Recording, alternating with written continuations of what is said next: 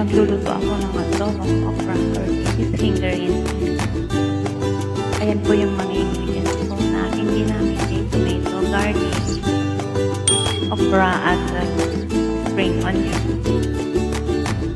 Ayan po guys. Alam nyo ba guys na okra ay nakakatulong sa pagbaba ng blood sugar level sa ating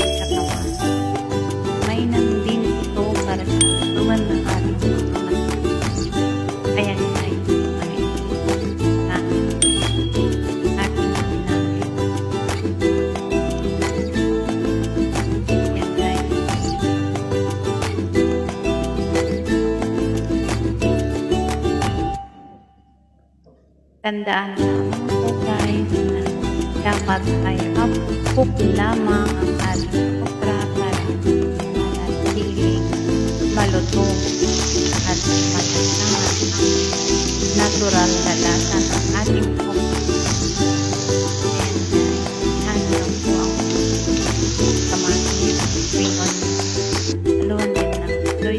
Ayan na guys, tapos